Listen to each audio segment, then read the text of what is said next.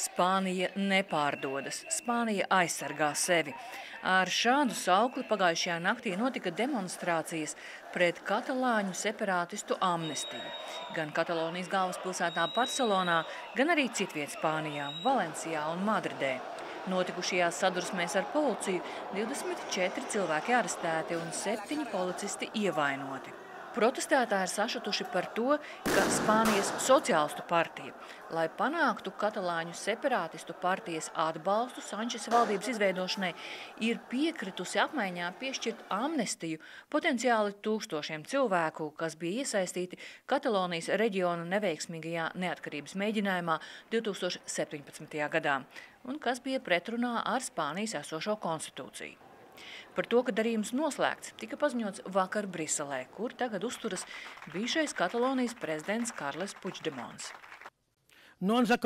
Perdó. Mums nav jāatvainojas. Mēs saglabājam savu nostāju un tieši no šīs pozīcijas mēs sākam sarunu procesu.